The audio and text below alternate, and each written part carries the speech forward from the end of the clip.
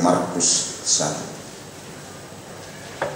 pasal 1 itu atau juga angka 1 ayat 21 sampai dengan ayat 28 Markus 1 ayat 21 sampai dengan 28 demikian firman Tuhan mereka tiba di Kapernaum. Setelah hari Sabat mulai, Yesus segera masuk ke dalam rumah ibadat dan mengajar. Mereka takjub mendengar pengajaran sebab ia mengajar mereka sebagai orang yang berkuasa tidak seperti ahli-ahli Taurat pada waktu itu di dalam rumah ibadat itu ada seorang yang kerasukan roh jahat. Orang itu berteriak, apa urusanmu dengan kami, hai Yesus orang Nazaret? Engkau datang hendak membinasakan kami. Aku tahu siapa engkau yang kudus dari Allah. Tetapi Yesus menghardiknya katanya, diam, keluarlah daripadanya. Roh jahat itu menggoncang-goncang orang itu dan sambil menjerit dengan suara nyaring, ia keluar daripadanya. Mereka semua takjub sehingga mereka memperbincangkannya katanya. Apa? Suatu ajaran baru. Ia berkata-kata dengan puas. Roh-roh jahat pun diperintahnya dan mereka taat kepada. Lalu tersebarlah dengan cepat kabar tentang dia ke segala penjuru di seluruh Galilea. Dan kabar ini hari ini tersebar. Sampai ke seluruh jemaat AKBP Bagaimana sahalah, bagaimana kuasa? Yang terjadi dari apa yang diajarkan dan diperbuat oleh Yesus.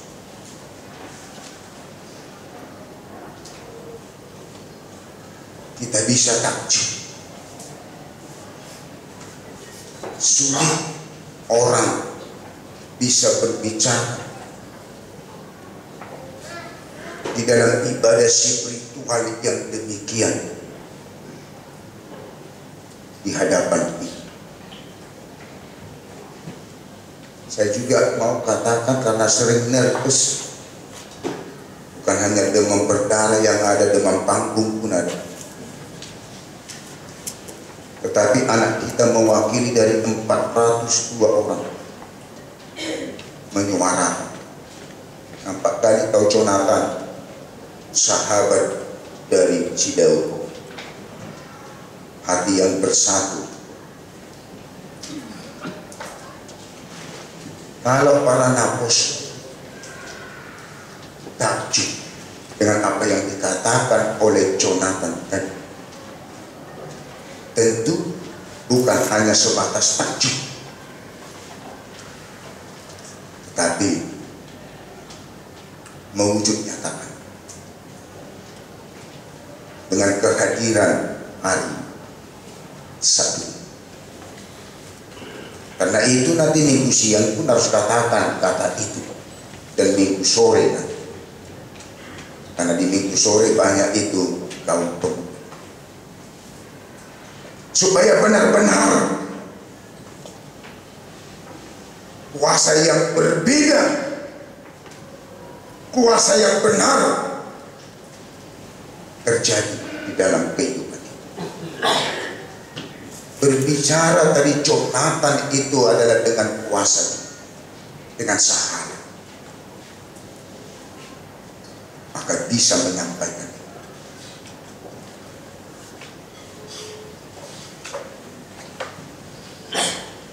Saya yakin dan percaya bahwa jemaat Tuhan di sini tidak bisa ditaklukkan oleh puasa kemarasan. Walaupun puasa ingin ngantuk dan tidur, tetapi itu tidak dilakukan, tetapi tetap bangun, berkemas, berangkat dari rumah, menuju gereja. Karena itu Bapak Ibu jemaat Tuhan HKBP Serpong saya yakin dan percaya satu orang pun dari jemaat yang beribadah pada minggu ini di awal Februari tidak ada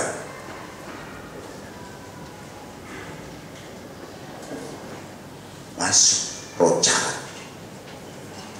Ada yang betul Karena lo ngadok na masuk to binahuda. Hmm? Apakah masih ada yang beribadat minggu ini, minggu pagi yang dirasuki oleh roh jahat? Karena memang roh jahat itu bisa hadir dan datang ke gereja. Bisa menggaruk-garuk kita untuk heheam. Bisa. Bisa itu mengalihkan hati dan pikiran kita. Sekarang menjadi pertanyaan pada ibadat ini. Puasa apa yang ada bagi dan bagi jemaat Tuhan minggu pagi ini? Itu harus jelas.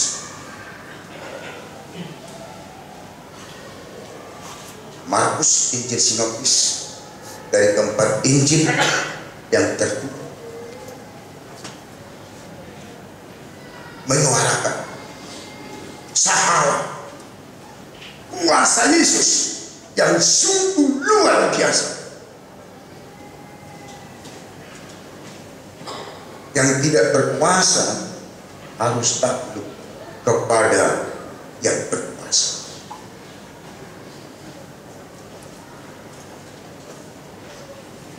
Kuasa yang tidak benar harus mengakui kuasa yang benar.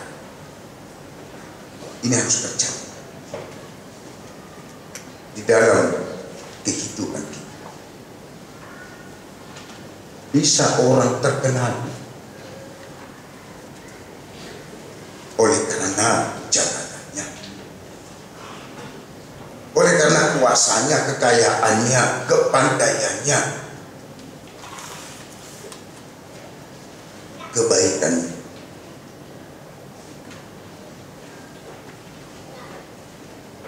Tetapi lebih cenderung manusia ini suka terkenal dikenal orang oleh karena kejahatan.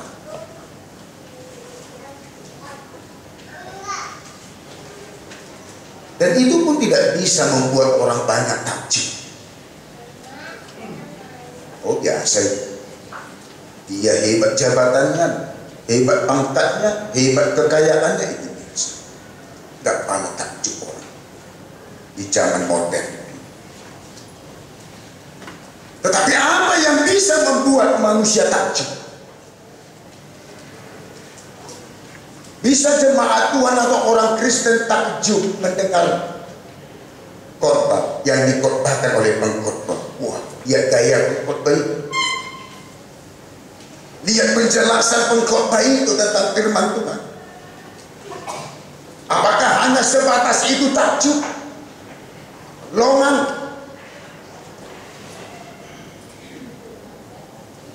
Tetapi Bapak Ibu jemaat Tuhan besar pun bisa melihat saya takjub. Bukan hanya sebatas pada berkhotbah. Tetapi takjub itu kalau bisa sampai melihat wah pendeta gaji itu apa yang telah dikotbahkannya itu sesuai dengan firman Tuhan itu dia lakukan. Itu harus sampai situ takjub. Anak-anak kita bisa takjub dalam dua hal melihat orang tuanya. Bisa takjub anak-anak kita longang Ayo huri pun bapak kau bapak dan bos bapak naruh tanggung jawab. Tapi bapak naso hasil bisa jadi itu dia. Longa takjub melihat jika laku bapaknya tidak sesuai. Tetapi bisa anak-anak kita itu takjub melihat orang tuanya dan menjadi bekal pedoman kehidupannya.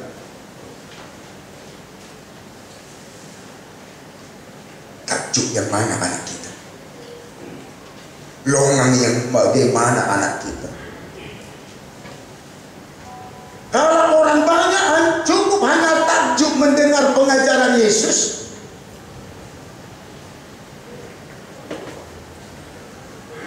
Tetapi takjub yang sungguh luar biasa dan yang benar apabila mengikut jejak dan langkah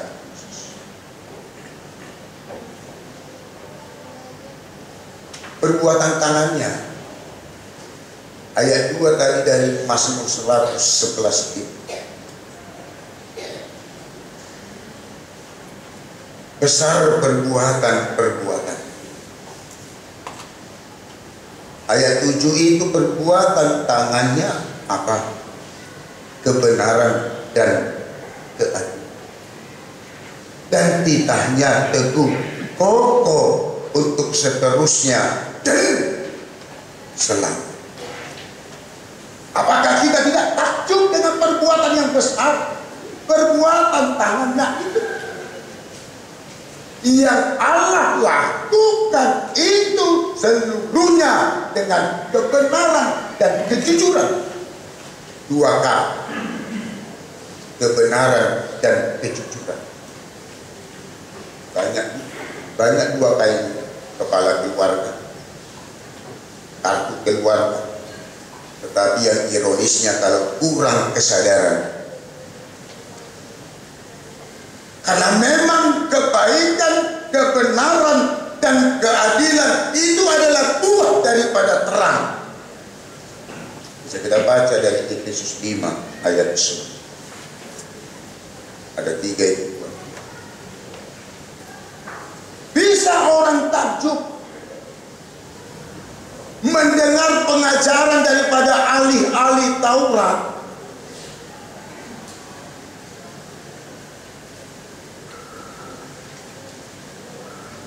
tetapi dasar sahalan ahli-ahli Taurat atau dasar puasa ahli Taurat apa?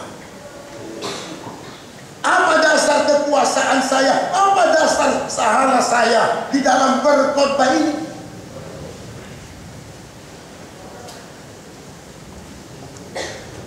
Ini beda. Ahli-ahli Taurat selalu mengatakan aku ni'i yang telah difirmankan. Kamu telah mendengar. Dan itu juga pemerintahan daripada para-para nabi yang benar. Beginilah firman Tuhan. Tidak dikatakan beginilah firman Yesaya, Yeremia, Yehezkiel, Daniel. Beginilah firman Tuhan dan setelah disampaikan firman Tuhan, ya akhiri demikianlah firman sehari. Tetapi sungguh luar biasa menakjubkan lagi. Kuasa yang berbeda dari kuasa yang selama ini didengar oleh orang banyak. Ada kuasa yang baru, yaitu kuasa yang datang dari Allah di dalam Yesus Kristus yang masuk ke rumah ibadah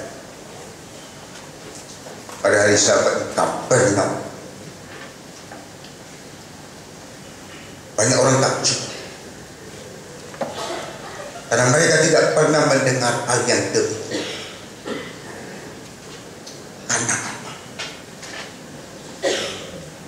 Karena memang Allah sendiri yang datang di dalam Yesus Kristus. Karena Yesus itu yang datang dari sorga. Maka Yesus setiap berfirman mengatakan, Udok Tuhan, Aku madok Tuhan, Na tudu si tudo, na hudok kot Tuhamu.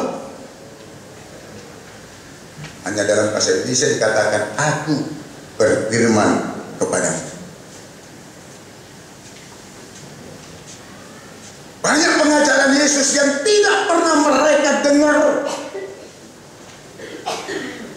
Maka mereka takjub, lomang terhadap pengajaran Yesus.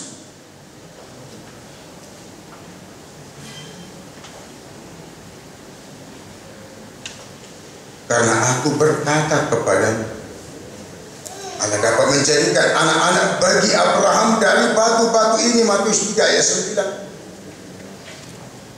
9. Maka aku berkata kepadamu, jika hidup keagamaanmu tidak lebih benar daripada hidup keagamaan ahli-ahli Taurat dan orang-orang Farisi, sesungguhnya kamu tidak akan masuk ke dalam kerajaan surga. Tak pernah didengar atau tak takjub.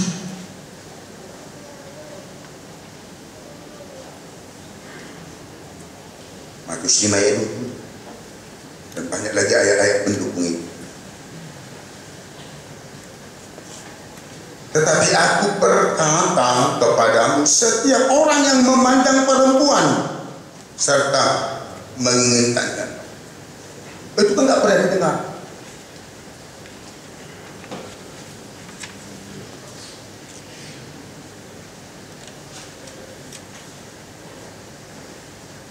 Aku berkata, tetapi aku berkata kepadamu, janganlah kamu melawan orang yang berbuat jahat kepadamu, melainkan siapa pun yang menampar pipi kananmu. Berilah juga kepadanya pipi kirimu. Kau nggak pernah didengar? Enak aja lo ngomong gitu bisa aja. Orang yang tidak suka. Kalau orang yang tidak suka tidak perlu itu menyelidikinya. Tidak perlu itu mengartikannya. Tetapi orang yang menyukainya itu pasti dia akan cari, pasti dia akan selidiki. Bukan, yang tidak pernah didengar. Masa orang yang nampak pipi kanan kasih pipi kiri enak aja lu. Lu pikir saya siapa? Anak raja kan orang Batak. Murah nakuk saring-saring. Ada dong kau jalan batak pesta panakok sehari-hari. Ini. Kenapa Yesus katakan itu dalam pengajarannya? Kalau ada orang menampar pipi kanan, dia pasti menampar dengan ininya. Dan tarekon, berikan lagi supaya lekat dengan pakai ini. Kalau pakai ini menampar orang itu penghinaan dua kali. Pak, tak mungkin begini lagi. Tak mungkin gitu. Pak, pak. Ya kalau pernah gurumu menampar pakai ininya, itu guru tak benar. Kalau pernah orang tua kita menampar anaknya pakai ini, wah tak Kalau bengkok gini kan susah. Kekuatannya pun kurang. Tapi kau pakai ini, bisa peor. Nah tutu situ dulu nah dokter Tuhan. Aku berkata kepada sesungguhnya ia tidak akan kehilangan upahnya daripada. Lalu kata Yesus kepadanya, aku berkata kepadamu, sesungguhnya engkau akan melihat langit terbuka dan malaikat-malaikat Allah turun naik kepada anak manusia yang tidak pernah mereka dengar dalam Yohanes 1 ayat 50. Itu membuat mereka takjub. Apalagi kalau kita baca itu dalam Yohanes 7 ayat 45 dan ayat 46.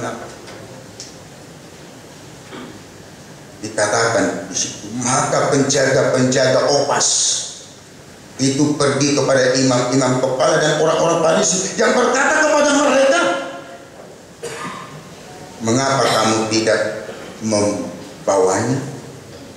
Karena mereka menyuruh Yesus itu untuk dibawa dan ditangkap. Jawab penjaga-penjaga itu. Belum pernah seorang manusia berkata seperti orang itu. Penjaga-penjaga itu pun takjub. Tapi lebih takjub. Kalau apa yang dikatakan dalam Ibrani 13 ayat 7. Ingatlah akan pemimpin-pemimpin kamu yang telah menyampaikan firman Allah kepada perhatikanlah hidup mereka dan contohlah iman mereka. Kalau benar-benar kita takjub dengan pengajaran Yesus itu, ikutilah jejak mudas Yesus. Supaya benar-benar takjub. Yang kedua, Bisakah rojah itu masuk ke dalam ibadah? Bisa. Karena itu banyak terjadi perpecahan, perselisihan, pertengkaran di tengah-tengah gereja. Karena bukan memakai kuasa Yesus. Karena memang Yesus tidak ada baginya. Maka dia menjadi orang yang dirasuki roh pemecah belah. Roh menghancurkan dan roh yang membinasakan. Saya yakin dan percaya tidak ada satu orang pun dari kami halal dan jemaat HKBP Serpong memiliki roh yang atau roh jahat tidak ada. Saya yakin dan percaya.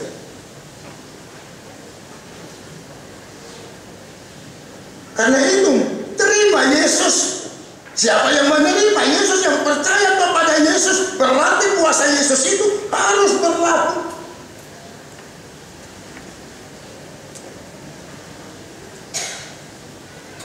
Agar kita memiliki kekuatan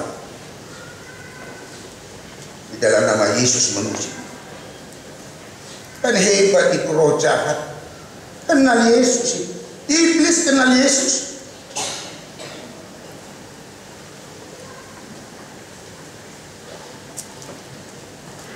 Karena memang kita tidak perlu heran sebab iblis pun menyamar sebagai malaikat terang dalam 2 Korintus 11 ayat 14 tentu Allah berfirman. Semua pokok yang di dalam taman ini bisa kamu makan. Eh tidak bisa kamu makan bukan Allah katakan bisa kamu makan. Tetapi iblis berkata, tentu Allah berfirman. Bisa dia pakai firman Tuhan untuk membelokkan. Itu adalah kuasa okultisme, kuasa kegelapan. Apabila okultisme kuasa kegelapan telah merasuki hati dan pikiran kita dan seluruh kehidupan kita, tentu nonsen kuasa Yesus itu dalam kehidupan kita. Tentu tidak ada Yesus. Bukti daripada Yesus itu hadir di dalam kehidupan kita. Tentu kuasa Yesus itu pun hadir dan berlaku dan bermakna, berdampak guna terhadap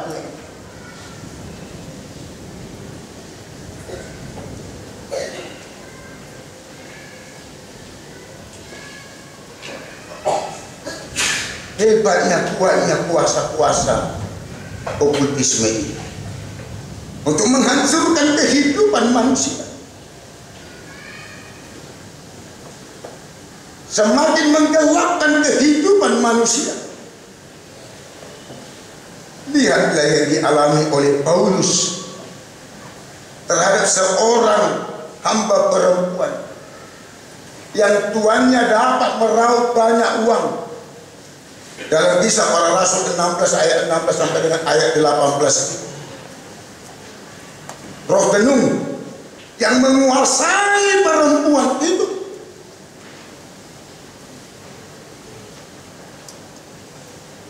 dan selalu mengikuti Paulus dan temannya sambil berseru Orang ini adalah hamba Allah yang maha tinggi. Mereka memberitakan kepadamu jalan kepada keselamatan. Hal itu dilakukannya beberapa hari lamanya. Paulus tidak tahan maka dia berkata kepada roh itu demi nama Yesus Kristus aku menyuruh engkau keluar dari perempuan ini. Seketika itu juga keluarlah roh tenung ini. Sekarang roh apa yang ada bagi kita selain daripada roh Allah itu? Katakan itu dengan kuasa Yesus?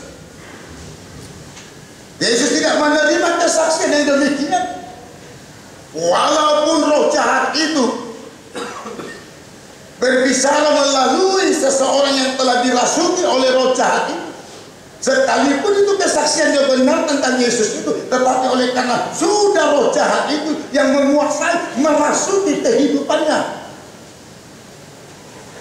Yesus itu tahu tentang kuasa apa itu. Karena memang kuasa roh jahat ini bisa menyulitkan, bisa membisukan, bahkan bisa membius jadi hilanglah kesadaran. Karena memang sudah okultisme itu, kuasa-kuasa roh jahat itu yang telah memenuhi hati dan pikiran seseorang itu. Maka yang lain pun tidak akan berkuasa lagi. Maka yang lain pun tidak berlaku lagi di dalam kehidupan.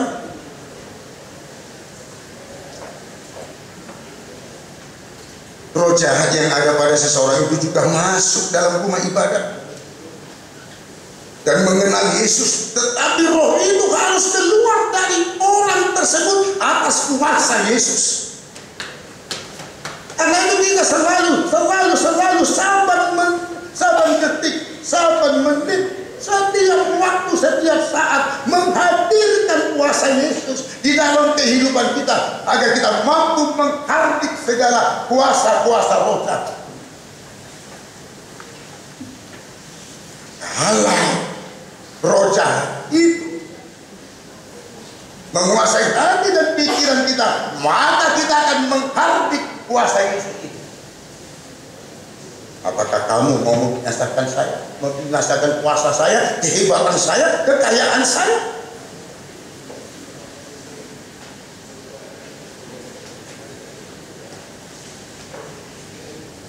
Apabila hati dan pikiran kita telah dirasuki roh mamonisme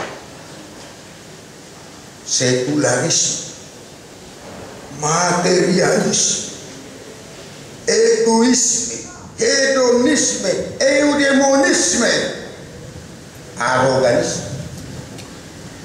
Tentu di mana Yesus buat?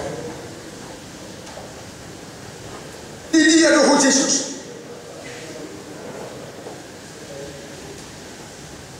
Wah, kalau saya katakan ke kamu, saya tidak mau memegang dan mencampuri yang bukan urusan saya tentang uang. Karena banyak kali roh jahat di uang. Semua orang jatuh karena uang. Semua orang berduka karena uang. Emang ini hebat ini uang ini urusan anggaran. Kan itu kan. Hebat, hebat pengeluaran. Puasanya pun hebat. Urusannya pun hebat. Semua karena uang, uang, uang. Banyak kali iblis roh jahat di uang. Bisa jadi itu bendara inang sinto merupakan jangan selalu uang itu berbicara berkuasa. Ah, ada es mautik. Tetapi karena kuasa Yesus bagi inang sinto ide berupa panjangan, dia hardik itu uang itu. Eh, kata kok, saya harus melakukan ini dengan kebenaran dan kejujuran karena saya punya anak. Anak saya pun perlu hidup dengan tenang, tentram, damai. Mari kita melihat pejabat-pejabat dan petinggi-petinggi kita karena uang. Semua manusia butuh dengan uang, perlu dengan uang. Saya pun sangat butuh dengan uang. Tetapi jangan uang itu menjadi akar kejahatan bagi Jangan kebutuhan uang itu saya gantikan menjadi cinta akan uang dalam satu Timotius 6 ayat 10. Karena akar segala kejahatan ialah cinta uang.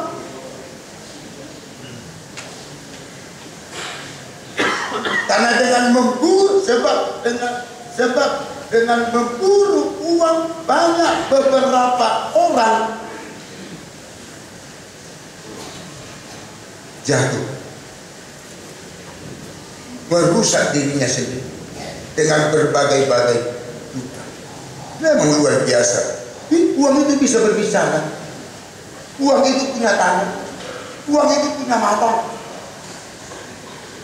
Karena itu hati dan pikiranmu jangan dikuasai oleh mamonisme, sekularisme, materialisme, egoisme, hedonisme, eudemonisme, aroganisme.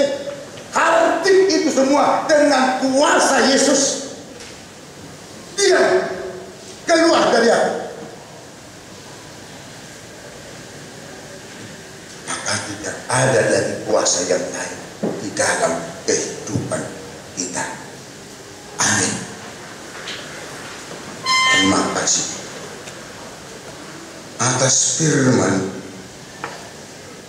pada hari pertama, minggu pertama, tanggal pertama bulan keempat kuasa Yesus dapat mengabdi roh-roh jahat yang ada dalam hati dan pikiran kehidupan kami.